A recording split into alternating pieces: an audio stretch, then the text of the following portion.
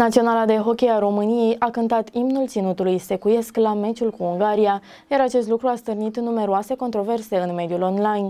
Deputatul PSD Mehedinți Cornel Folescu a transmis de asemenea un mesaj referitor la lipsa de patriotism de care aceștia au dat dovadă. Moment umilitor pentru România chiar în Ungaria, Naționala de Hockey a României a intonat imnul neoficial al ținutului săcuiesc. Echipa este formată în mare parte din jucători maghiari, însă chiar și așa reprezintă România, al cărei imn e Deșteaptă-te române. Deputatul PSD Mehedinți, Cornel Folescu, a transmis un mesaj pe pagina sa de socializare referitor la acest subiect. Am luat act de o scenă delirantă care s-a petrecut astăzi în Slovenia după ultimul meci al național naționalei de hockey a României împotriva Ungariei de la campionatul mondial. Mai exact, jucătorii lotului nostru național, îmbrăcați în culorile tricolorului roșu, galben și albastru, au intonat imnul ținutului secuiesc alături de jucătorii naționale Ungariei. Sunt conștient că majoritatea hockeyiștilor din Naționala României sunt de etnie maghiară, dar ei nu trebuie să se uite sub însemnele cărei țări joacă și care este standardul imprimat pe echipa echipamentul lor. Personal consider acest gest o adevărată palmă dată României și românilor și am speranța că Ministerul Tineretului și Sportului va analiza incidentul și va lua măsurile care se impun. Salut gestul celor trei jucători români care au refuzat să ia parte la ce sunt sigur că și au realizat că este o purtare antiromânească, a transmis Cornel Folescu, deputatul PSD Mehedinți. Președintele Federației Române de Hockey pe gheață Alexandru Hălăucă întrebat întrebat ce sancțiuni riscă jucătorii români dacă se dovedește că au cântat alături de galeria maghiară. Hălăucă a spus că regulamentul prevede pedepse în ceea ce privește însemnele naționale ale României.